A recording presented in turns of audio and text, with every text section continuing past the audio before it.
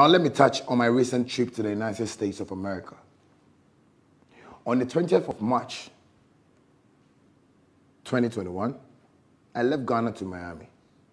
The purpose of my trip was vacation. But that had to change on arrival as work was calling so hard.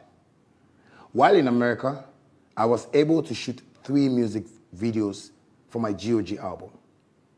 Aside the music videos, I recorded about five songs, all for the GOG album, featuring Naira Marley from Nigeria, Popcaan from Jamaica, and other artists of global repute.